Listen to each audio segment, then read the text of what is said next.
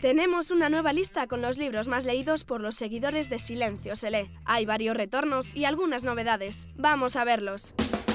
Uno de los regresos de ficción es Haruki Murakami. El escritor japonés une en su novela 1Q84 a un aspirante a novelista y a una bella mujer asesina. Y otro de los que vuelven es Ken Follett y su famosa novela La caída de los gigantes, que llega al 4, la primera de una trilogía que recorre el mundo a través de la vida de cinco familias.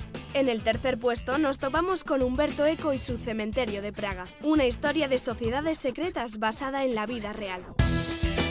Hasta el número 2 llega de nuevo El tiempo entre costuras, el famoso libro de María Dueñas, la autora revelación de 2010, un relato colonial con el que se ha iniciado como escritora. Y en la cima de nuestra lista habéis situado el último libro de Javier Sierra. El ángel perdido atrapa a los lectores con intriga, secuestros y dos minerales únicos en el mundo.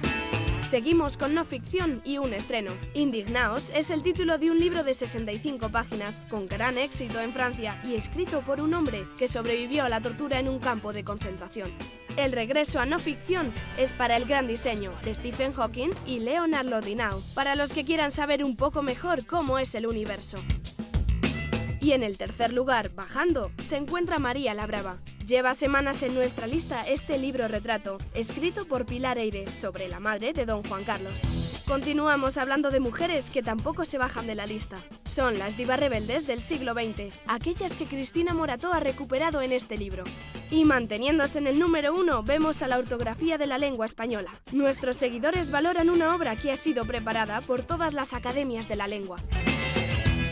Nos trasladamos a infantil y juvenil con Bad Pat. Llega a Silencio se lee, El secreto del alquimista, la nueva aventura de este detective que se enfrenta a fantasmas malolientes.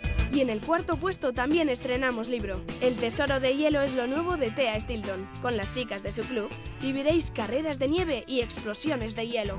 Ahora vamos al 3 con Molly Moon, que asciende con los ladrones de cerebros. La niña que sabe lo que piensan los demás deberá rescatar del futuro a su hermano gemelo.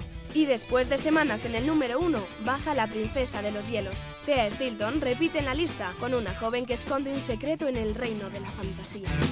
Esta semana se coloca en el primer puesto La pequeña historia de la música, de Fernando Argenta, un recorrido por todas las épocas y tendencias musicales.